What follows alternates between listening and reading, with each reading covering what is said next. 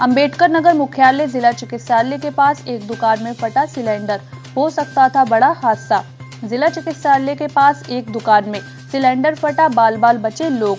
दुकानदार का नाम कुंज बिहारी उसके दो बेटे जगन्नाथ और केदारनाथ दुकान पर मौजूद थे। मौके पर सूचना फायर ब्रिगेड को दी गई। फायर ब्रिगेड आई, उसके बाद आग पर काबू पाया गया।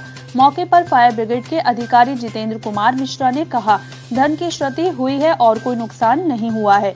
मौके पर पहुँचे सभी आला अधिकारी, सीओ सिटी, जलालपुर, बहादुर, कोतवाल, अकबरपुर, सतेंद्र कुमार सिंह आर्या चौकी इंचार्ज दिनेश सिंह, एसएसआई सरवन कुमार सिंह साथ में पुलिस बल भी तैनात। राम कुमार यादव एजाज अहमद सहित कई लोगों ने आग पर काबू पाया।